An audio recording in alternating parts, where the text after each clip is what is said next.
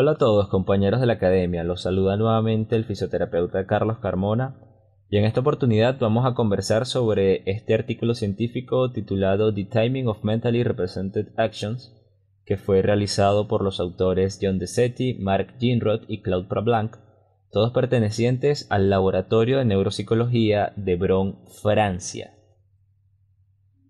El objetivo de este estudio fue profundizar en la relación existente entre la representación mental del movimiento y la práctica física del mismo, basándose en los estudios de Koslin, Georgiopoulos y Massey. Para dar un refrescamiento general a estos estudios, vamos a comenzar con Koslin que nos dice en su estudio en 1975 sobre la imagen visual que el tiempo de creación de una imagen visual en nuestra mente, si un punto viaja, desde un objetivo hasta otro objetivo va a aumentar si el objetivo donde queremos llegar está a mayor distancia y además si en este trayecto nos encontramos una serie de obstáculos. Para dejar esto más claro vamos a imaginar que esta mujer de cabello rojo que está en nuestra diapositiva se imagina que un punto viaja desde donde ella está hacia la Casa Blanca y luego se imagina que viaja hasta la empresa. Va a tardar más tiempo imaginando que ese punto viaja a la empresa porque está más lejos en este trayecto. Y además, si nosotros ahora colocamos un edificio en medio de estas dos estructuras y le pedimos que imagine que ese punto viaja desde donde ya está la empresa y luego quitamos las estructuras y le pedimos lo mismo, va a tardar más tiempo imaginando que el punto viaja cuando está en la Casa Blanca y el edificio de por medio, porque se va a detener mentalmente, así ella no lo esté pensando directamente, a realizar un análisis de, las características físicas de estos objetos. Por su parte, Georgiopoulos y Massey nos indican que el tiempo de creación de una imagen mental, si estamos analizando un objeto físico o un espacio físico, va a depender de la representación tridimensional de este objeto físico en el espacio. Vamos a imaginar que estamos nosotros de pie frente a este instituto que vemos en la diapositiva.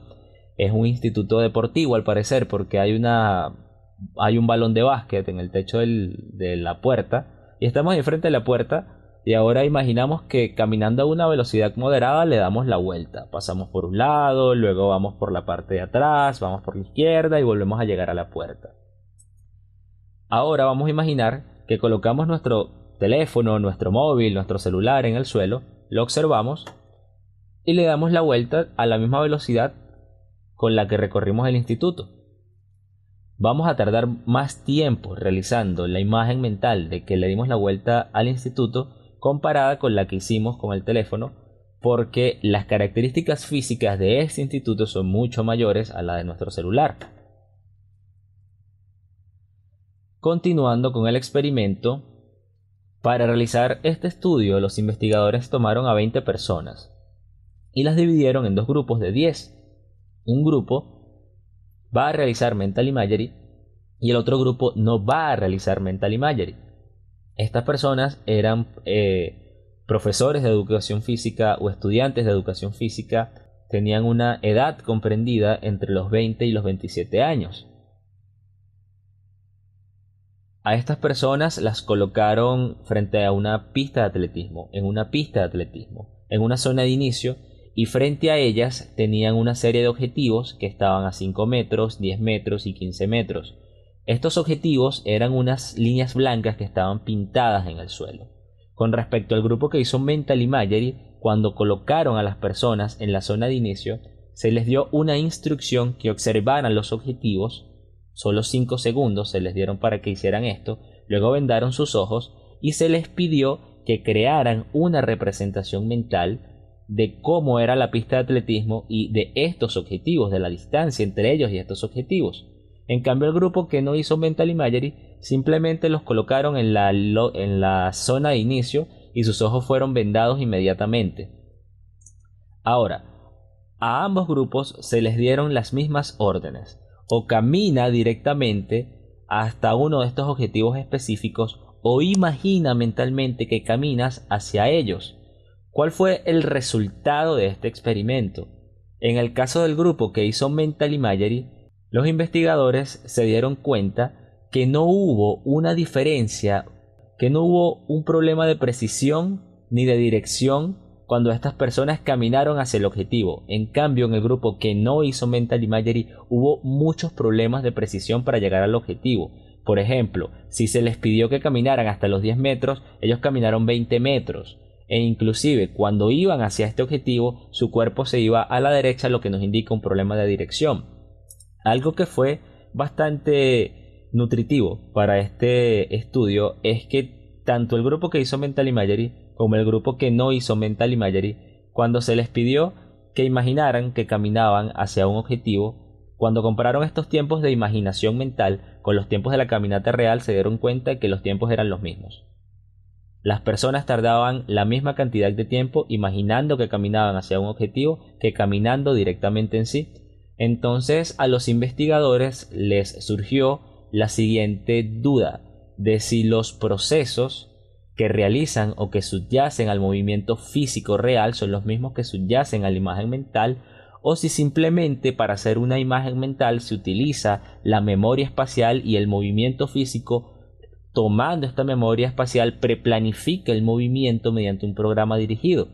Entonces, para esto, a los investigadores se les ocurrió en un segundo experimento colocar una resistencia externa en el sujeto, y pensaron que al colocar la resistencia externa iba a haber una variabilidad en el tiempo de la imagen mental caminando y de la caminata real. Y además dijeron que la caminata real era la que tenía que aumentar su tiempo, no la imagen mental del movimiento de caminar. Entonces, la resistencia externa que se les colocó a las personas, quiero aclarar que las personas que realizaron este experimento solo fueron las que participaron en el experimento número uno con el Imagery mental. El, grupo que no hizo Mental Imagery fue descartado para este experimento número 2. Entonces a estas personas se les colocó una mochila, un bolso con 25 kilogramos de peso en su espalda y a partir de allí se les dio las mismas instrucciones que el experimento 1, camina hacia uno de estos objetivos o imagina que caminas. Para sorpresa de los investigadores, las personas dijeron que al imaginarse caminando con la resistencia se sintieron muy cansadas a finalizar el experimento. Y además se dieron cuenta que sí, claramente hubo una variación en el tiempo entre la imagen mental y la caminata real, pero el tiempo que aumentó fue el de la imagen mental y no el de la caminata real.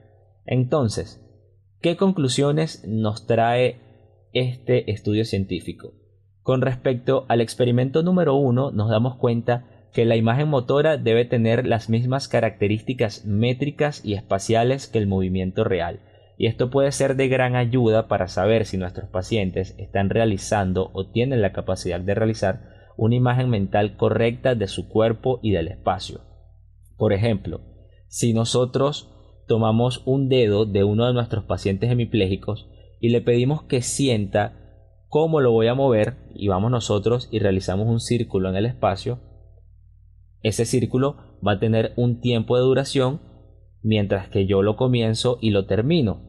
Ahora, si luego de esto nosotros le pedimos a nuestro paciente que se imagine haciendo ese movimiento de círculo en uno de sus dedos que yo hice, el tiempo que él dure imaginando esto debería ser el mismo tiempo que el que yo duré realizando el movimiento.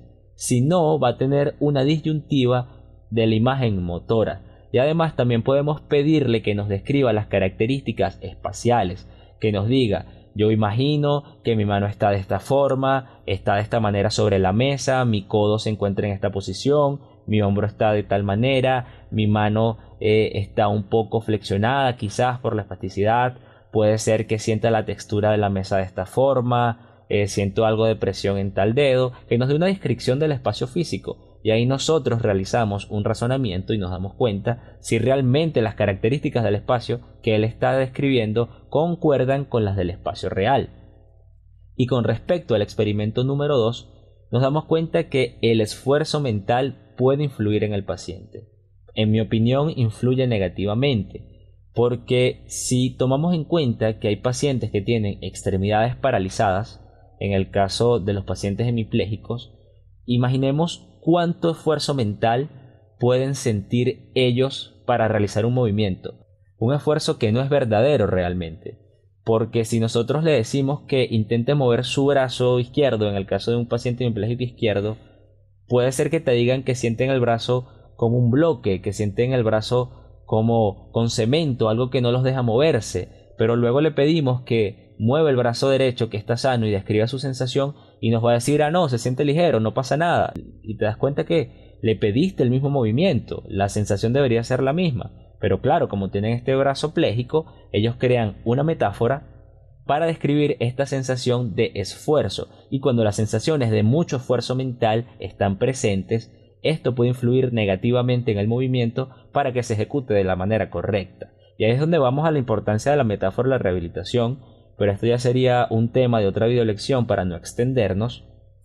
Pero nos damos cuenta de esto porque estos investigadores, al finalizar este estudio, citan a otro autor que realizó un experimento en el que le pidió a pacientes hemipléjicos que con su pulgar pisaran una palanca como un joystick del control de PlayStation y ese pulgar hemipléjico iba a marcar una referencia de presión en una pantalla que tenían enfrente a ellos, como que pulsa y mira cuánta fuerza marca, cuánta presión marca en lo que tienes en la pantalla. Luego de esto, se les pidió que hicieran la misma presión en el pulgar derecho, en el pulgar que no estaba pléjico. Y cuando pulsaron la palanca, la fuerza fue máxima, sobrepasaron la presión que tenía que marcar porque ellos tenían una idea de un esfuerzo mental para llegar a esa presión que no era la correcta.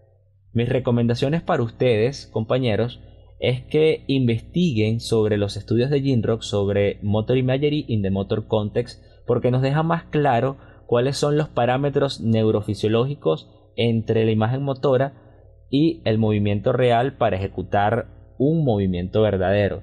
De hecho, él nos dice en ese estudio que la imaginación de un movimiento de manera correcta tiene en 80% los mismos efectos neurofisiológicos que el movimiento en sí. Así que estaría muy bien que, que realicen un estudio de este artículo para que puedan complementar esta información. Y otra recomendación sería que practiquen la imagen motora con sus pacientes y además que le pregunten qué sienten cuando intentan moverse. Así que espero que les haya gustado esta video lección. Muchas gracias y nos vemos en una próxima.